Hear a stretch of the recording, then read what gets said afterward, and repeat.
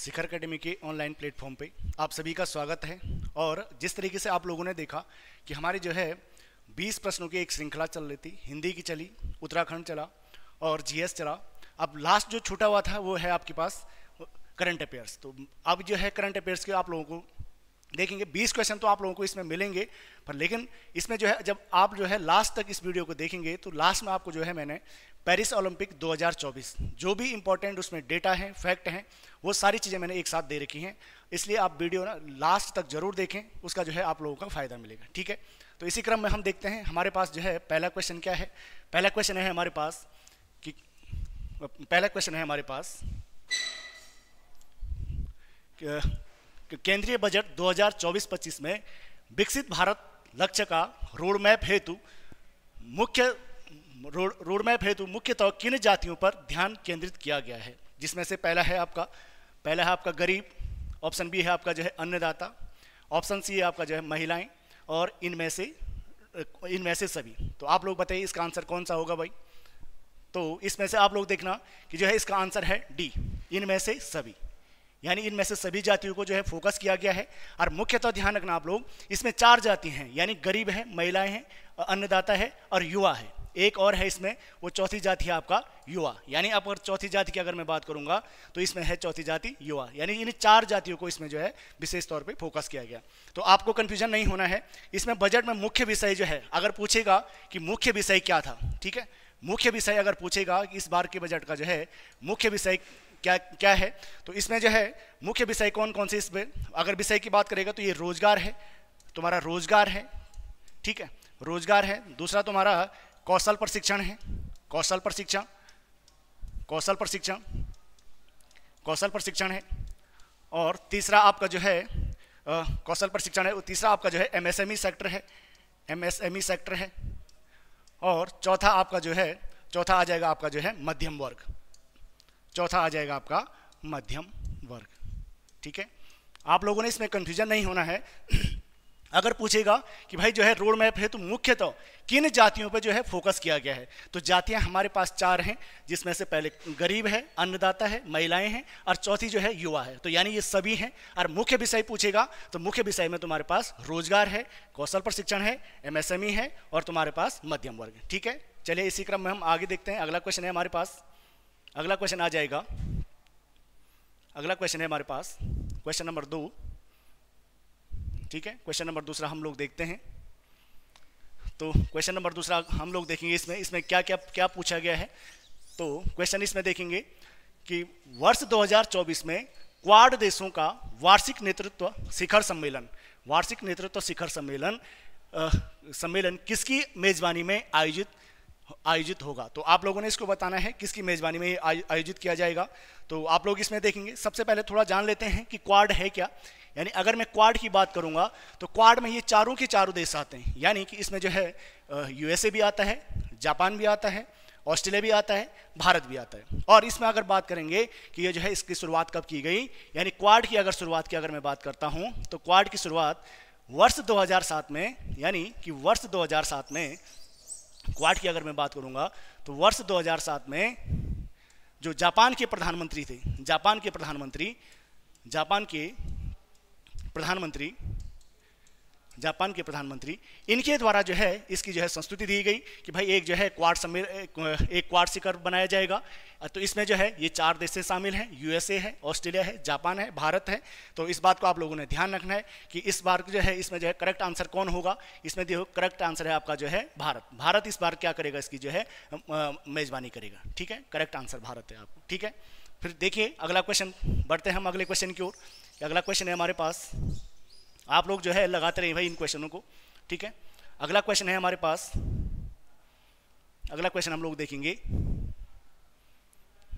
यानी तीसरा क्वेश्चन है हमारे पास। तीसरा क्वेश्चन हम लोग देखेंगे। तीसरा क्वेश्चन है तीसरा क्वेश्चन है हमारे पास कि हाल ही में प्रधानमंत्री नरेंद्र मोदी ने धरती आबा धरती आबा जनजातीय ग्राम उत्कर्ष अभियान कहाँ से आरंभ किया है। ठीक है? ऑप्शन नंबर ए है इसका जो है हरियाणा। ऑप्शन नंबर बी है आपका जो है ऑप्शन नंबर बी है आपका उड़ीसा ऑप्शन नंबर सी है आपका जो है महाराष्ट्र। ऑप्शन नंबर डी है आपका झारखंड। तो इसमें से आप लोग जो है सही आंसर बताइए भाई, क्या होगा इसका? ठीक है? बताइए आप लोग, क्या आंसर होगा इसका? तो इसका आंसर है आप लोगों का आंसर है इसका जो है झारखंड। झारखंड में जो है, झारखंड से इसको जो है शुरुआत की गई और प्रधानमंत्री जी द्वारा इसकी जो है शुरुआत की गई। और झारखंड में भी कहाँ पे किया गया? ये है आपका जो है हजारीबाग। झारखंड के हजारीबाग से इसको जो है शुरुआत की गई इस प्रोग्राम की, ठीक है?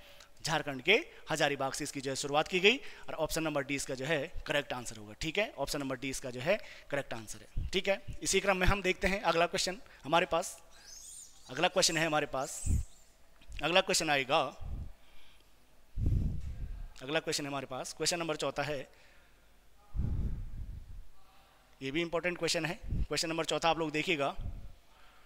क्वेश्चन नंबर चौथा है कि हाल ही में सांस्कृतिक श्रेणी में भारत का तैतालीसवां यूनेस्को विश्व धरोहर स्थल कौन सा बना है?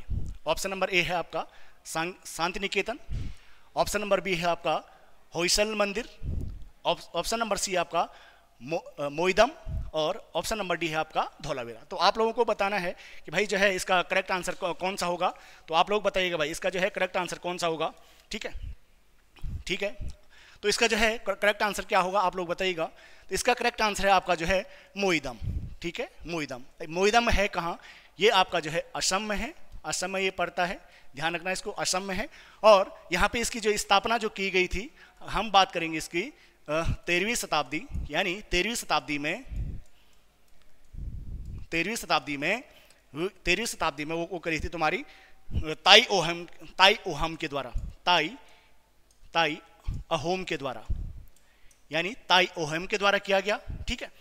तेरहवीं शताब्दी में ताई ओहम के द्वारा किया गया और जो है अगर लोकल लैंग्वेज में इसे मैं कहूँ इसे क्या कहते हैं? तो इसे कहते हैं तुम्हारा आत्मा का घर मोइदम मतलब हो गया आत्मा का घर। आत्मा का घर। तो आप लोग जो है गूगल करके इसको जो है इमेज ज़रूर देखिएगा कि कैसे जो है मोइदम की इमेज कैसी है, ठीक है? तो असम में है और ये तेरहवीं शताब्दी में ये ताई ओहम के द्वारा इसे बनाया गया था, ठीक है? चलिए ऑप्शन नंबर सी इसमें जो है करेक्ट आंसर है। ऑप्शन नंबर सी इसका जो है करेक्ट है। तो इसी क्रम में हम अगला क्वेश्चन देखते हैं। अगला क्वेश्चन क्या है हमारे पास? ठीक है, अगला क्वेश्चन देखते हैं। अगला क्वेश्चन आएगा हमारे पास। अगला क्वेश्चन है क्वेश्चन नंबर पांचवा है हमारे पास। क्वेश्चन नंबर पांचवा है हमारे पास। कि केंद्रीय प्रदूषण नियंत्रण बोर्ड द्वारा आयोजित स्वच्छ वायु सर्वेक्षण 2023 में किस शहर ने पहला स्थान प्राप्त किया है? तो आपको इसमें से पहला स्थान बताना है।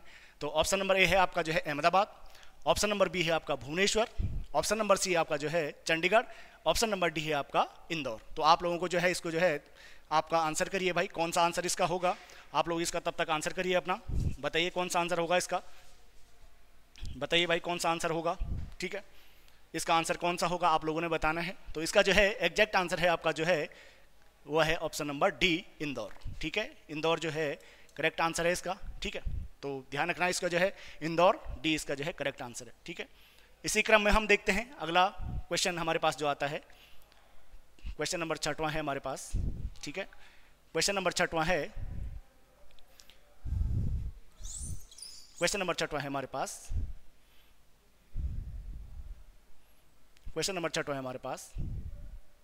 ठीक है? देखते हैं क्वेश्चन नंबर छठवा। कि हाल ही में, हाल ही में अंतर्राष्ट्रीय सौर गठबंधन का, अंतर्राष्ट्रीय सौर गठबंधन का सौवा पूर्ण सदस्य कौन बना है? ठीक है? तो इसमें से ऑप्शन नंबर ए है आपका पनामा ऑप्शन नंबर बी है आपका पराग्वे ऑप्शन नंबर सी आपका माल्टा और ऑप्शन नंबर डी है आपका स्पेन। तो आप लोगों ने बताना है भाई कौन कौन है इसमें? आप लोगों ने इसको जो है सही आंसर बताना है कि सौवा कौन सा है। तो सौवा है आपका जो है प्रागवे, ठीक है? ये आपका जो है करेक्ट आंसर है। ये आपका करेक्ट आंसर है। और ध्यान रखना 101वां अभी 101वां जो देश बना है, बनने की जो घोषणा है वो वो हो गया किसकी? नेपाल की। वो अभी नेपाल की घोषणा हुई है, ठीक है? यहाँ सोवा पूछा गया है और आपको जो है 101वां अगर पूछेगा तो ये है आपका जो है हाल ही में ये घोषणा हुई है उन नेपाल की। तो जान लेते हैं अंतर्राष्ट्रीय सौर गठबंधन। अगर आप लोग इसके बारे में अगर थोड़ा बहुत अगर जानकारी होगी तो आप लोगों को पता है कि दो हज़ार पंद्रह में ये बना था, ठीक है? ये भारत एवं फ्रांस के सहयोग से इसको जो है बनाया गया था, ये भी आप लोगों ने ध्यान रखना है। ठीक है? और अगर मैं बात करूँगा कि वर्तमान में इसके जो है डायरेक्टर कौन है तो डायरेक्टर भी आप लोगों ने ध्यान रखना है इसके डायरेक्टर हैं डॉक्टर अजय माथुर। इसके जो है, जो डायरेक्टर हैं वो हैं डॉक्टर अजय अजय माथुर। इसके जो है डायरेक्टर हैं, ध्यान रखना इस बात को। और मैं बोलूँगा इसका जो है इसका जो है हेडक्वार्टर कहाँ है? इसका हेडक्वार्टर कहाँ है? इसका हेडक्वार्टर है आपका हरियाणा में। हेडक्वार्टर है इसका जो है हरियाणा। और हरियाणा में कहाँ पे है ये? गुरुग्राम। ठीक है? ध्यान रखना इस बात को, गुरुग्राम में, ठीक है? अब इसी क्रम में हमारे पास जो है, अगला क्वेश्चन आता है। अगला क्वेश्चन देखेंगे हम लोग, ठीक है? अगला क्वेश्चन देखेंगे। अगला क्वेश्चन है हमारे पास। अगला क्वेश्चन हमारे पास। ठीक है? अगला क्वेश्चन हमारे पास। सातवां क्वेश्चन हमारे पास कि तीन मई 2024 को चीन ने किस मिशन को चंद्रमा के सुदूर हिस्से से नमूने एकत्र और पृथ्वी पर लाने के लिए लॉन्च किया है? जिसमें ऑप्शन नंबर ए है आपका Chang five option number B है आपका Chang six option number C है आपका जो है Chang seven option number D है आपका चैंग फोर तो आप लोग बताइए भाई, क्या आंसर होगा इसका? आप लोग बताइए बताइए इसका जो है कौन सा आंसर होगा इसका? तो इसका जो है, सही आंसर होगा इसका जो है, option number B option number B जो है, चांग सिक्स. इसका जो है करेक्ट आंसर है। ऑप्शन नंबर बी इसका जो है करेक्ट आंसर है, ठीक है? और जब मैं क्वेश्चन पढ़ रहा हूँ तो आप लोग जो है, अपने आंसर बताते रहें भाई, ठीक है? तो इसी क्रम में अगला क्वेश्चन देखते हैं हम। अगला क्वेश्चन है हमारे पास। अगला क्वेश्चन आएगा इसके बाद। यानी आठवां क्वेश्चन है। आठवां क्वेश्चन देखते हैं हम लोग, ठीक है? आठवां क्वेश्चन है कि हाल ही में विश्व के पहले होलोग्राफी बैंक नोट किसने लॉन्च किए हैं? किसने लॉन्च किए हैं? ऑप्शन नंबर ए है आपका ऑस्ट्रेलिया ऑप्शन नंबर बी है आपका जापान ऑप्शन नंबर सी है आपका दक्षिण कोरिया और ऑप्शन नंबर सी है आपका न्यूजीलैंड तो आपको बताना है होलोग्राफी नोट किसने जारी करे हैं? विश्व का पहला देश है। ठीक है? होलोग्राफी मतलब एक जो है, कुल मिला के ये किया गया कि नकली नोटों से बचने के लिए आप इसमें क्या किया गया? होलोग्राफी का इसमें प्रयोग किया गया। एक ये त्रि आयामी होता है, यानी थ्री होता है। तो इसमें से आप लोग बताइए भाई, क्या आंसर होगा इसका? बताइए फटाफट। चलो, ठीक है। इसका आंसर है आपका जापान। जो है, इसका जो है एक्यूरेट आंसर है आपका जो है कि जापान है। अगर हम बात करेंगे तो कौन है इस समय? ये जो है जापान है। ठीक है? करेक्ट आंसर इसका जो है जापान। ठीक है? इसी क्रम में हम लोग देखते हैं। अगला क्वेश्चन है हमारे पास। अगला क्वेश्चन है क्वेश्चन नंबर नौवा है हमारे पास। क्वेश्चन नंबर नौवा है क्वेश्चन नंबर नौवा को देख लेते हैं। क्वेश्चन नंबर नौवा है, स्विस, इसमें क्वेश्चन नंबर नौवा है, स्विस संगठन आईक्यू एयर द्वारा 2023 विश्व वायु गुणवत्ता रिपोर्ट में विश्व की सबसे प्रदूषित राजधानी के रूप में किसे नामित किया गया है? ठीक है? और ऑप्शन नंबर ए है आपका, कोलंबो। और ऑप्शन नंबर बी है आपका, बीजिंग। ऑप्शन नंबर सी आपका पेरिस, ऑप्शन नंबर डी है आपका नई दिल्ली। तो आपको बताना है भाई, बताइए फटाफट कौन है। ठीक है, कौन सी राजधानी है जिसको जो है पहले स्थान पर रखा गया है। ठीक है तो बताइए। तो इसका आंसर आप लोगों ने उम्मीद है, बता लिया होगा। ठीक है, ऑप्शन नंबर डी, ये है तुम्हारा नई दिल्ली, ये करेक्ट आंसर है, ध्यान रखना इसको। ठीक है, और पूछेगा कि सबसे प्रदूषित महानगर, विश्व का सबसे प्रसिद्ध सब, विश्व का सबसे प्रदूषित महानगर प्रदूषित महानगर पूछेगा विश्व का सबसे प्रदूषित महानगर। अगर पूछेगा तो वो है तुम्हारा बेगूसराय। विश्व का सबसे प्रदूषित। अगर ये पूछेगा, विश्व का सबसे सबसे प्रदूषित महानगर पूछेगा, वो है आपका बेगूसराय। बेगूसराय। ठीक है? कौन है तुम्हारा ये? बेगूसराय है। अगर सबसे प्रदूषित महानगर पूछेगा, बेगूसराय है। अब बेगूसराय आपका जो पड़ता है, ये पड़ता आपका जो है, बिहार में पड़ता है। ठीक है? ध्यान रखना भाई इस बात का। अगर प्रदूषित महानगर पूछेगा तो कौन है आपका जो है? बेगूसराय है और वो तुम्हारा बिहार में। ठीक है? चलिए ठीक है, इसी क्रम में हम अगला क्वेश्चन देखते हैं। अगला क्वेश्चन है हमारे पास। अगला क्वेश्चन आएगा हमारे पास। अगला क्वेश्चन देखते हैं। दसवां क्वेश्चन है हमारे पास। दसवां क्वेश्चन देखते हैं। कि हाल ही में एसबीआई के चेयरमैन के पद पर किसे चुना गया है? ठीक है? जिसमें ऑप्शन नंबर ए है आपका Srinivasulu Setty option number B है आपका Ravi Agarwal option number C आपका मोहित कंबोज, और ऑप्शन नंबर सी आपका गिरिजा सुब्रमण्यम। चलिए भाई, आप बताइए कौन किसे किया गया है? आप लोग फटाफट आंसर बताइए। ठीक है? बताइए अपने आंसरों को किसे नियुक्त किया गया है? बताइए भाई फटाफट। किसे नियुक्त किया गया है? ठीक है, वो नियुक्त किया गया है आपका श्री निवासुलू सेट्टी को। ठीक है, ध्यान रखना ऑप्शन ए जो है करेक्ट आंसर है। ठीक है करेक्ट आंसर है। अरे कौन से रैंक के हैं ये? ये तुम्हारे सत्ताईसवें नंबर के यानी सत्ताईसवें नंबर के क्या है ये तुम्हारे एसबीआई के चेयरमैन है। ठीक है, ध्यान रखना इस बात को। चलिए भाई, आगे बढ़े। आगे देखते हैं। अगला क्वेश्चन है हमारे पास। ग्यारहवा क्वेश्चन है हमारे पास। ग्यारहवा क्वेश्चन देखते हैं। ग्यारहवा क्वेश्चन देखते हैं हम। ग्यारहवा क्वेश्चन आता है हमारे पास। हाल ही में हरिणी अमर सूर्या किस देश की तीसरी महिला प्रधानमंत्री नियुक्त की गई? ठीक है, हरिणी अमर सूर्य के बारे में ये पूछ रहा है, जिसमें ऑप्शन नंबर ए है आपका श्रीलंका ऑप्शन नंबर बी है आपका जो है बांग्लादेश, और ऑप्शन नंबर सी आपका मालदीव और ऑप्शन नंबर डी है, इनमें से कोई नहीं। तो चलिए भाई, आप लोग बताइए। आप लोगों को जो है, अमर सूर्य से याद आ रहा होगा, शायद इससे आप लोग गैस भी कर रहे होंगे। तो इसका सही आंसर है श्रीलंका। ठीक है? इसका जो है एग्जैक्ट आंसर है, वो है श्रीलंका, ठीक है? इसका जो है करेक्ट आंसर होगा, हरिणी अमर सूर्य कहाँ की प्रधानमंत्री नियुक्त की गई अभी? जो है श्रीलंका की प्रधानमंत्री से नियुक्त किया गया, ठीक है? ठीक है? इसी क्रम में हम अगला क्वेश्चन देखते हैं। अगला क्वेश्चन क्या है हमारे पास? आ जाता है हमारे पास, ठीक है? यहाँ पे जो है, बहुत ज़्यादा एक्सप्लेनेशन मैं नहीं कर रहा हूँ क्वेश्चनों का, ताकि आप लोगों के लिए एक एक क्वेश्चन जो है, फटाफट हो जाए और ज़्यादा से ज़्यादा क्वेश्चन आप लोगों के लिए बने मतलब। कम समय में ज़्यादा क्वेश्चन मिले, ठीक है?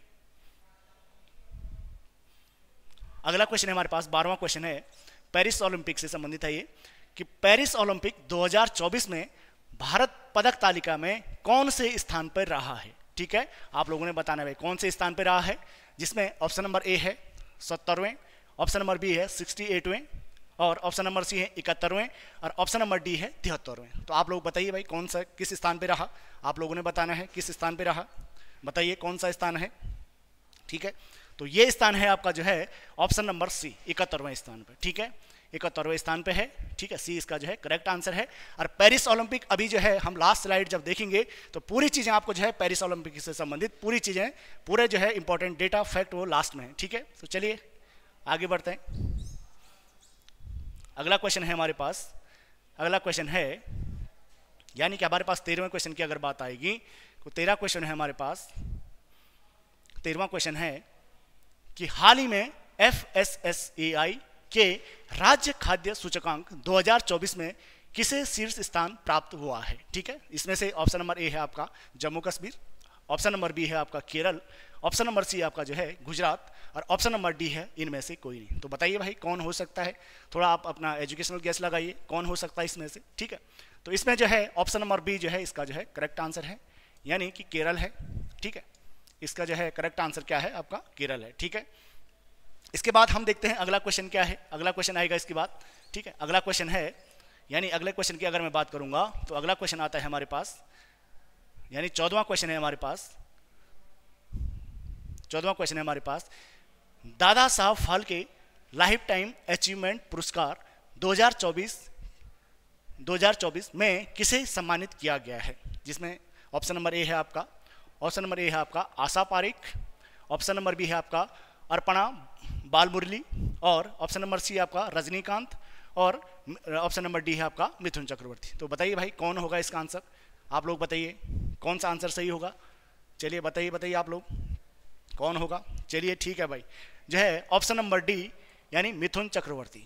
अभी जो है, इनको देने की घोषणा की गई है, ठीक है? ये करेक्ट आंसर है आप लोगों का, ध्यान रखना इस बात को, ठीक है? तो इसी क्रम में हम अगला क्वेश्चन देखते हैं। अगला क्वेश्चन क्या है हमारे पास? अगला क्वेश्चन आता है, यानी कि पंद्रवा क्वेश्चन है हमारे पास। पंद्रवा क्वेश्चन अगर हम बात करेंगे तो पंद्रह क्वेश्चन क्या है हमारे पास? वो देखते हैं, ठीक है?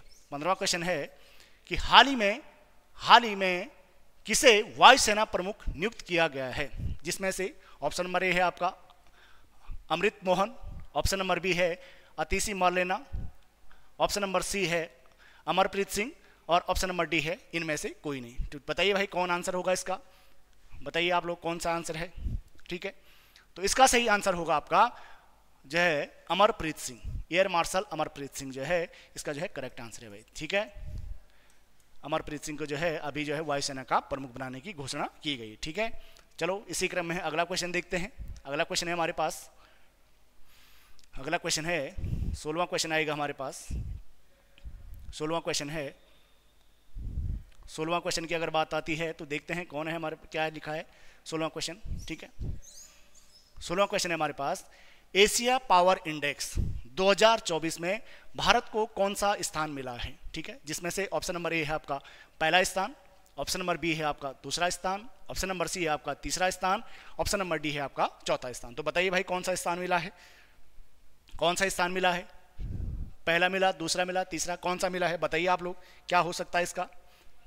जो है, अगर इसके जो है करेक्ट आंसर की मैं बात करूँगा तो जो है भारत को जो है तीसरा स्थान मिला है। ठीक है? भारत को तीसरा स्थान मिला है, ये इसका जो है करेक्ट आंसर है।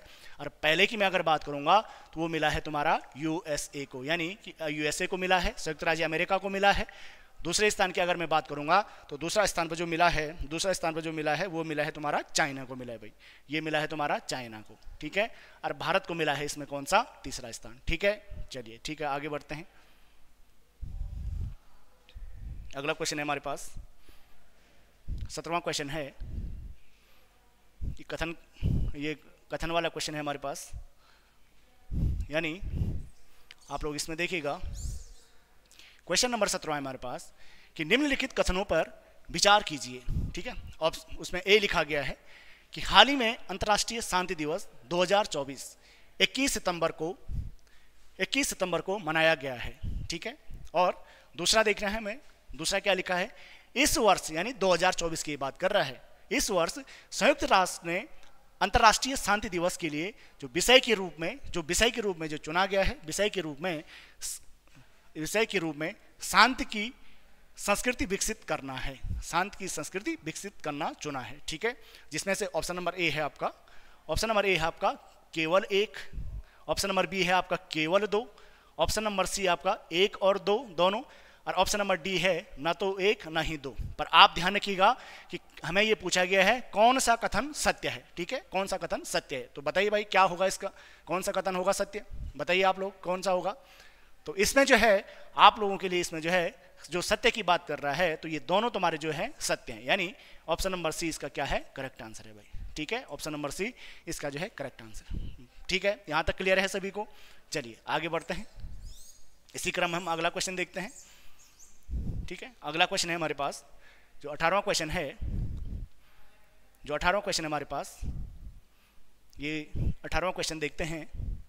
अठारह क्वेश्चन है हमारे पास, हाल ही में, हाल ही में सर्वश्रेष्ठ पर्यटन गाँव प्रतियोगिता 2024 में जीवंत गाँव, जिसे वाइब्रेंट विलेज भी से कहते हैं, जीवंत गाँव की श्रेणी में हर्सिल और गुंजी गाँव कहाँ पर स्थित है?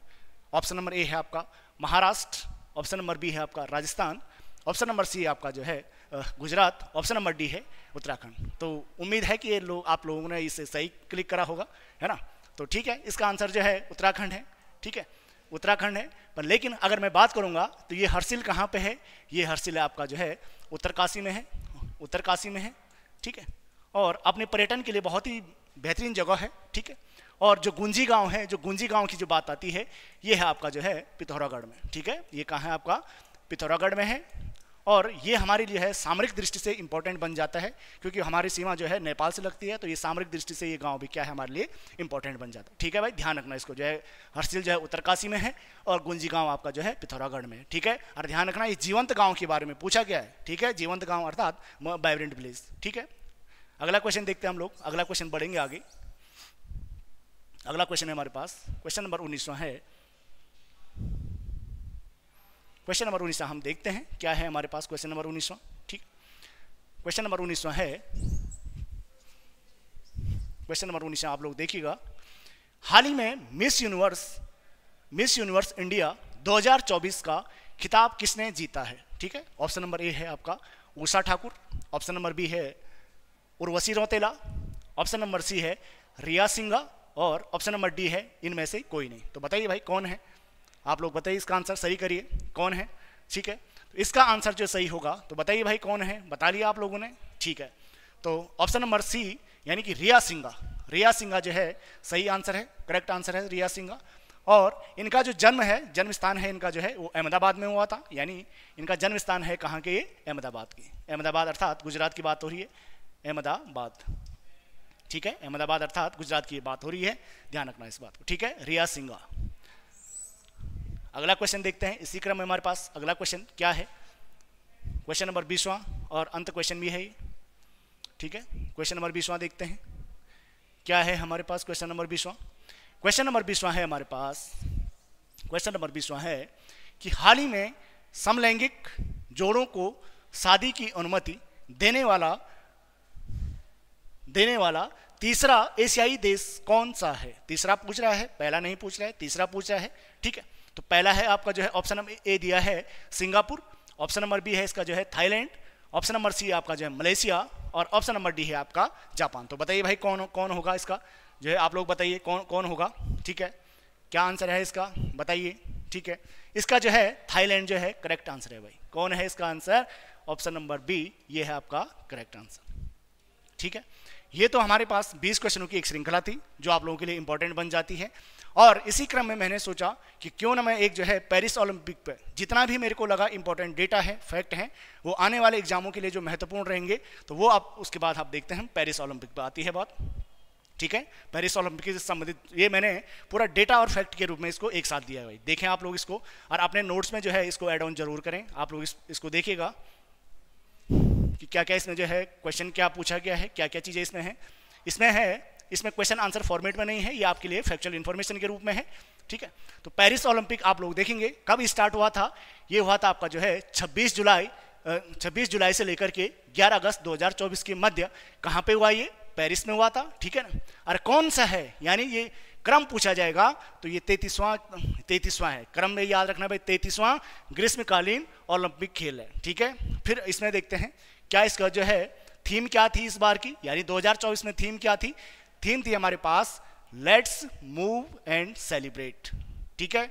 लेट्स मूव एंड सेलिब्रेट और इसके बाद देखते हैं, हमारे पास जो है, आदर्श वाक्य क्या है? आदर्श वाक्य की बात क्या कही गई है? आदर्श वाक्य हमारे पास है गेम्स वाइड ओपन ठीक है? आदर्श वाक्य है तो हमारे पास गेम्स वाइड ओपन और शुभंकर क्या था? शुभंकर क्या है इसका? द प्रेजिस इसका जो है द प्रेजिस इसका क्या है? शुभंकर है। द द प्रेजिस ठीक है? फिर इसी देखते हैं हम, अगली स्लाइड में क्या है हमारे पास?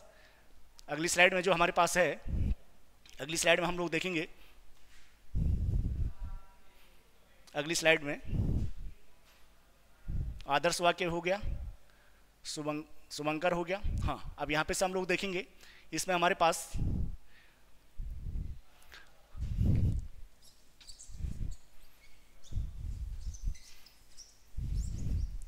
देखिएगा आप लोग।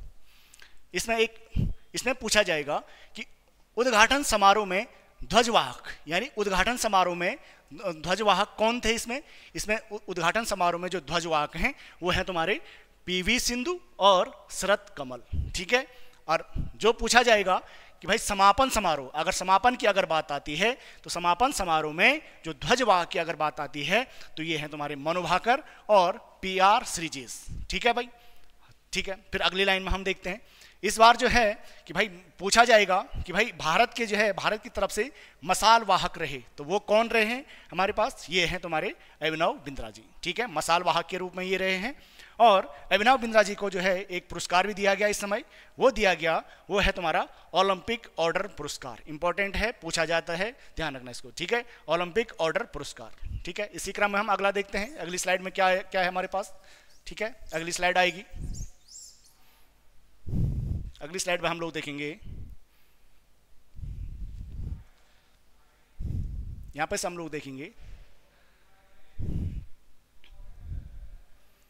यहाँ पे हम लोग देखेंगे कि पेरिस ओलंपिक पेरिस ओलंपिक में इस बार कितने देशों ने भाग लिया?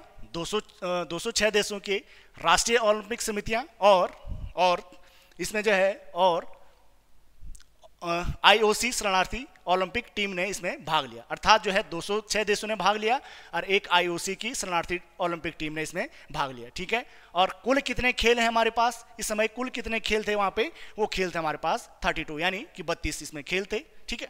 और अगर जो बात आती है कि भाई पेरिस ओलंपिक में जो भारत की जो पदक तालिका थी, वो किस किस को क्या मिला? थोड़ा उसे भी देख लेते हैं, किसे कौन सा पदक मिला? जरा उसकी भी बात आ जाएगी, ठीक है? तो इसमें जो है, अगला इसमें जो स्लाइड अगर हम देखेंगे जो पदक विजेता थे, उनको क्या क्या मिला? तो इससे आप लोग देखिएगा कि पहला आ जाता है कि नीरज चोपड़ा। यानी नीरज चोपड़ा ये भाला फेंक से संबंधित हैं, ठीक है? इनको जो है सिल्वर मेडल मिला था, ये भी आप लोगों ने सिल्वर मेडल अर्थात रजत पदक इनको मिला, ठीक है? मनु भाकर मनु भाकर को जो है ten metre ten metre air pistol में मिला, इनको जो है ब्रॉन्ज मेडल मिला, अर्थात ब्रॉन्ज मेडल या कांस्य पदक इनको मिला है। इनको जो है कांस्य पदक मिला, ठीक है? कांस्य पदक मिला, ठीक है? इनको जो है रजत पदक मिला।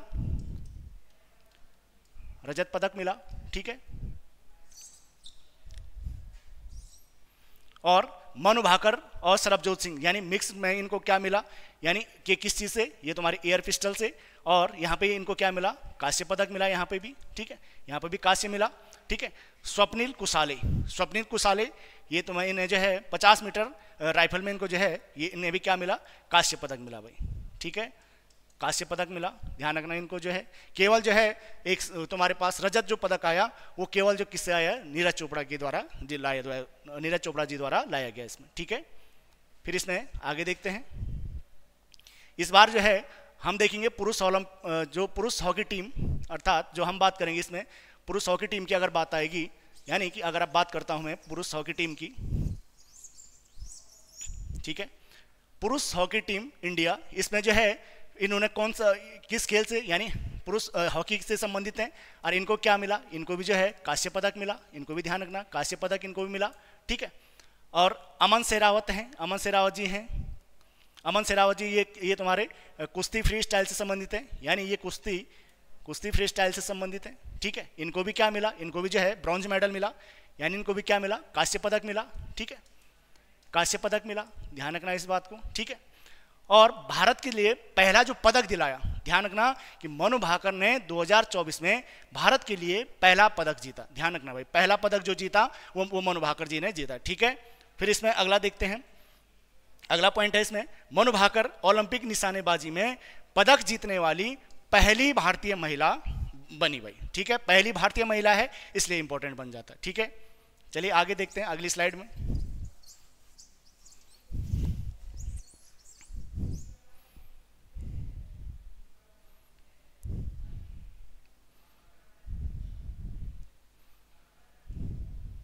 इसमें देखते हैं। अमन शेरावत, सबसे युवा ओलंपिक पदक विजेता है भाई। ये भी इंपॉर्टेंट है। सबसे युवा ओलंपिक पदक विजेता जो है, वो कौन है तुम्हारे? अमन शेरावत जी हैं, ठीक है? फिर अगला इसमें देखेंगे कि नीरज चोपड़ा ने पेरिस ओलंपिक में पुरुषों की भाला फेंक स्पर्धा में दूसरे प्रयास में कितना? 89.45 मीटर, ठीक है? का सर्वश्रेष्ठ थ्रो हासिल करते हुए कौन सा पदक जीता? ये यहाँ पे रजत पदक जीता। ध्यान रखना कि कितना मीटर फेंका इन्होंने? 89.45 ठीक है? ध्यान रखना भाई इस चीज़ का। अगला है इसमें, अगर जो हम रैंकिंग की अगर मैं बात करूँगा कि कुल कितने जो है, किसे कितना पदक किसे मिले तो इस पर अगर मैं रैंकिंग की अगर बात करूँगा तो सबसे टॉप रैंक में जो है आपका, वो अमेरिका है। और अमेरिका को जो है 126 पदक मिले। ठीक है? पहले, पहला स्थान, अर्थात जो है, पहला स्थान जो है, अमेरिका का है। पहला स्थान जो है, पहला स्थान है। ठीक है? और दूसरा स्थान जो है, चीन का है, यानी इनको जो है 91 पदक मिले। यानी सेकंड रैंक अगर मैं बात करूँगा तो ये तुम्हारा किसका है? चीन का है, ये भी आप लोगों ने ध्यान रखना है, ठीक है? फिर आगे मैं बात करूँगा कि, आगे हम लोग देखेंगे, ठीक है? उसके बाद जो है, चौथा स्थान पर हम लोग देखेंगे, चौथे स्थान पर जो है, कौन रहा? चौथे स्थान पे, चौथे स्थान पे चौथे स्थान पे, चौथे स्थान पे जो है जापान रहा, यानी जापान को कितने पदक मिले? 45 मिले। अगर भारत की अगर मैं बात करूँगा तो भारत की जो रैंकिंग है, वो 71 है। यानी इकहत्तरवें स्थान पर रहा भारत। 71वें स्थान पे भारत रहा और भारत को कुल कितने पदक मिले? भारत को मिले कुल छह पदक, ठीक है? और इसमें से जो है, एक रजत पदक था और इसमें से पाँच क्या थे? इसमें काश्य पदक थे या ब्रॉन्ज मेडल थे, ठीक है? ये जो है, पेरिस ओलंपिक से संबंधित जितने भी इंपॉर्टेंट फैक्ट थे, ये चीज़ें मैंने कोशिश करी है कि भाई जो है, आप लोग जो है, इसके माध्यम से ये पेरिस ओलंपिक पूरा कवर करने की कोशिश की गई है। आप लोग बताना कि आप लोगों को ये वीडियो कैसे लगी, ठीक है? और इसी क्रम में मैं अगला जो लेकर के आऊँगा, वो बीस क्वेश्चन तो उसमें होंगे बट उसमें जो है देखेंगे उसमें बजट का या बजट या कोई और इंपॉर्टेंट इश्यू अगर होगा तो देखेंगे उसमें जो इस तरीके से इंपॉर्टेंट फैक्ट के रूप में एक साथ उसको भी हम लेते हुए चलेंगे, ठीक है? तो आप लोग बताइएगा कि कैसे लगी ये वीडियो, ठीक है? और चैनल को जो है लाइक करना है सब्सक्राइब करना है, और अपने दोस्तों तक जो है वीडियो को शेयर करना है। चलिए, ठीक है थैंक यू सो मच